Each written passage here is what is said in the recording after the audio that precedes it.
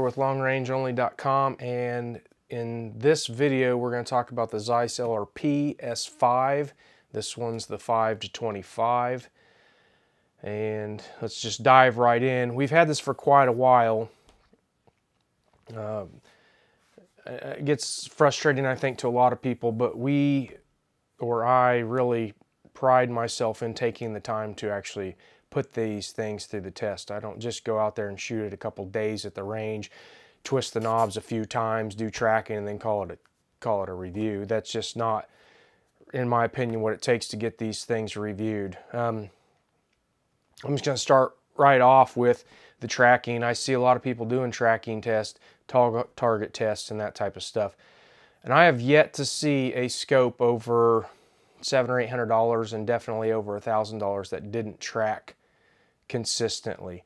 Now, I, I do recommend that you, as, as the user, would do a tall target test and actually see what the clicks relate to because sometimes if it's a one minute or a quarter minute per click, you don't always get exactly that. And especially as you go over, say, 30 minutes, it may be off a little bit, but the ballistic calculators today can take care of that for you.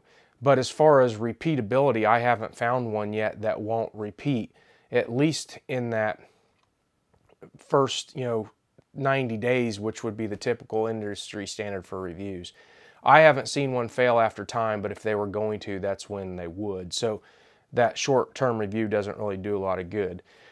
I'm not going to talk about the specs. We'll put them up here, but we're going to talk about generally about them. You know, this is a 36 ounce scope. It's a 34 millimeter main tube, and it's a pretty large scope. I would put this in the same class as like an ATAC R from Nightforce. Um, and then the others, there, there are several other options from several other manufacturers uh, that would be in this class. Now this scope is really intended for uh, competition like PRS and that type of that type of competition. It does boast 140 minutes of angle elevation, which is absolutely insane for those that need it. And uh, the other features that are going to set this apart from other scopes, I think, is what people are going to be mainly interested in. It has, in my opinion, what Zeiss has been known for. It has some of the best glass in the industry. This is the top of the line glass from Zeiss. It's beautiful. It has high contrast, 90% light transmission. The glass is definitely not going to leave the snobs wanting again, I don't really place a lot of value on the, the glass. I've never had glass cause me to miss and or miss or miss an opportunity. So it's not at the highest of my priority list, but a lot of people it is, and this is at the top of the line. Okay, it's got the typical Zeiss diopter adjustment back here. It's very smooth, it stays in place. It is my favorite style of diopter and this is implemented very well. It's not gonna accidentally move on you. It's got a very smooth zoom ring and unlike the S3, this doesn't have a spot to put a throw lever uh, but they do sell an accessory that goes right on there and is very, very usable. I don't think it's implemented quite as well as the S3 because for a right-handed 90 degree bolt action when it's at the low version or low power, it's not, it's going to be in the way. But I personally prefer that if there if it has to be in the way somewhere, I personally prefer it on the low end over the high end. So over here on 24 power, for a right-handed shooter, it's going to be out of the way. The turrets are very tactile.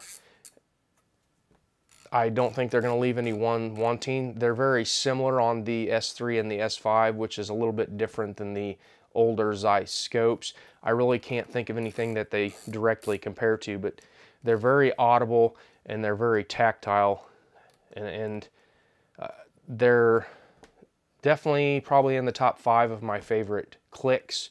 And I know a lot of people are very, uh, it, it's a personal preference and a lot of people care a lot about them. I don't think that you would dislike these. I, I think they're a great implementation of a turret. The windage is lockable, which I Uh, the more and more I think these scopes start to come out with a lockable windage turret, uh, you're going to hear me talk them up quite a bit more because I just love that feature. There's really no reason to make a new scope today I, in these price ranges, you know, the $2,000, $2,500, $3,000 price range and, and up where the, the windage turret's not lockable. I just don't think it's excusable anymore. It needs to be implemented into everyone's design. There's too many times where you don't necessarily need to make a wind call. And when that happens, a lot of people don't go through that uh, shot process, including the wind. We could argue whether or not you should, but it could cause a miss if the windage moves, and this is definitely going to help you eliminate that.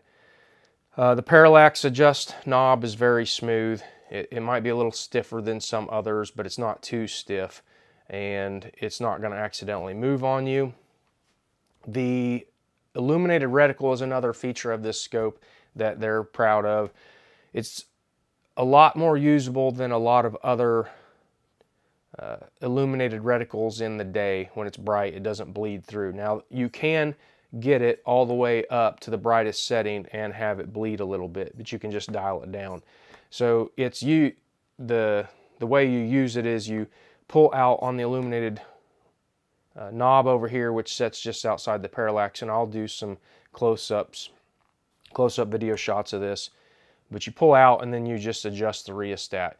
And again, for illuminated reticle use, this is how I think it should be. Uh, either the clicks, which are get brighter as you do separate clicks, or a rheostat that can be turned off easily. I don't like the push button stuff. This pull out, pull push back in.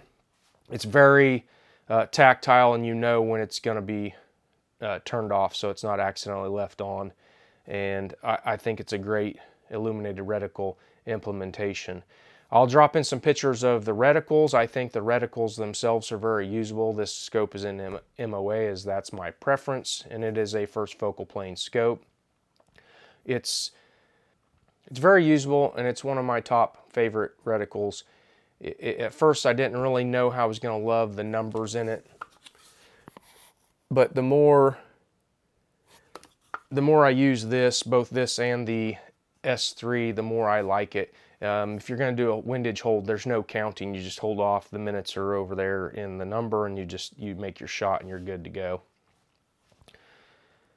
The zero stop on this is probably I have mixed feelings about it. It's probably my favorite type of zero stop. A lot of the other turrets out there or zero stops out there are copying something very similar to the Nightforce that has been around since the NXS and in my recollection was the first zero stop. Eh, eh, there may be others that beat it, but that's the first one I remember. And most scopes today are using some copy of that where you take the cap off and you rotate the little ring that has a tab and then set it back down. And that's fine if you're messing around uh, when you change scopes from or change to a different rifle or whatever, that's fine. If you need to adjust the scope up, you just adjust it up, get the zero set, take it off and reset the zero stop, put it back down. But it's kind of a pain if you need to go down because then you have to take the scope uh, turret cap off then you have to back the zero stop out of the way, put it back, and then dial the scope down and then set the zero stop. And it just takes a little bit longer. This is not the most uh, intuitive zero stop uh, because when you're setting it and, and the zero stop is detached from the scope turret uh, as far as uh, actually moving the turret, it still has that tactile feel, so it's confusing. It makes you feel like it's moving the reticle when it's not. But I can assure you, if you just follow the directions, which we're not going to get into in this video, if you just follow the directions, it's one of the easiest zero stops to use. And I really like it. Whether you're going up or down, it's, it's super simple to set. Now, like I said, it's not as intuitive, so you'll probably, if it's been a while, you'll need to look at the instructions to accomplish the setting the zero stop. If you set it all the time, obviously it'll be second nature to you. But I think it's probably my favorite way to implement a zero stop, which when you add all this up, it makes it one of the best scopes, if not the best scope in this style. Like to me, for my hunting rifles, it's a little bit too big. I'm probably not going to throw this on one of my hunting rifles. I don't like those uh, heavy scopes generally speaking, but then when you couple it with the larger size, it's probably not something I'm going to take hunting. But for a ELR rig, a long range rig, a, a competition rig, this is going to be an awesome scope. Like I said, the zero stop, the great glass, the illuminated reticle is one of the best implementations of an illuminated, illuminated reticle out there. The locking windage turret, the great glass makes it a great scope. So I think we've covered all the, the big pieces or important parts of the scope. Let's go ahead and wrap this up. Who I think this is for. So I'm going to rehash some of the things I just said. You've got a good a diopter here, a great implementation of the illuminated reticle. Parallax adjust knob is super smooth.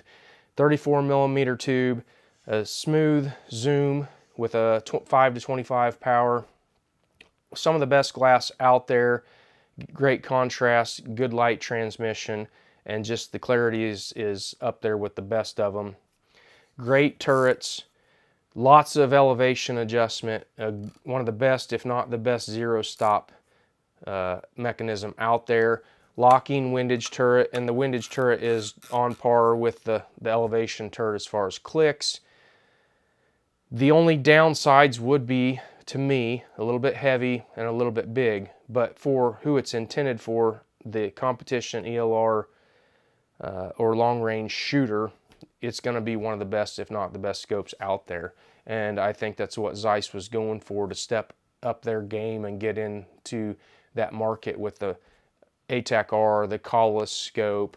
Uh, some people would argue the Leupold Mark V HD, which I'm not a huge fan of, but this is going to get them into that market. And I think if you're looking for a scope for one of those uh, things that I'm I just mentioned, long range, ELR, uh, competition stuff, you definitely got to look at the Zeiss LRP S5.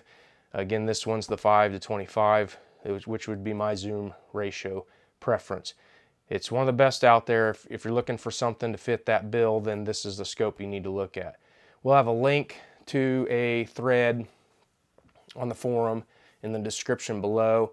You can head on over there, ask me any questions. If you're not a member on longrangeonly.com already, it's quick, it's free, it's easy to set up an account and we would love to have you. There's lots of great information. You don't need to have an account to, to go uh, read any of the content that we'll have in relationship to this, but to participate, we would love to have you sign up. Please like the video, subscribe to our YouTube channel, and turn on notifications so you can be notified of future videos. Um, we appreciate you taking the time to watch. Have a great day.